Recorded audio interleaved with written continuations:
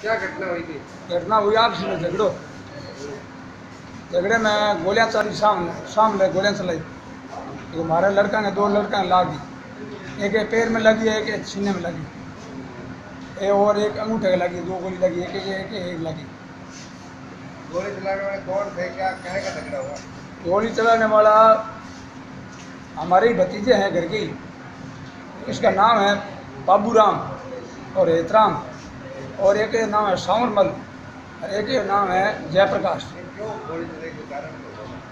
और कोई पहले हमारे कोई भाई हो बड़ो भी ने मारपीट करी। कि भाई ने मैं छोड़ाने वास्ते किया ना कोई भाई ने छोड़ दिया और हमारे ऊपर हमला बोल दिया। इसलिए भी। घायल में दो ही जने घायल है। पाँच सौ पुलिस की पुलिस आई है हमारे घर ऊपर अभी सुबह आई ने मारपीट करी अभी और फोर्स है। ऐसा के लेडीज़ है अभी और है घूमे गिरफ़्तार करने वास्ते। घायला के नाम कहीं कहीं हैं? गायला नाम है शिवरतन और सुनील। हाँ नाम कहीं हैं। मेरा नाम हीराराम।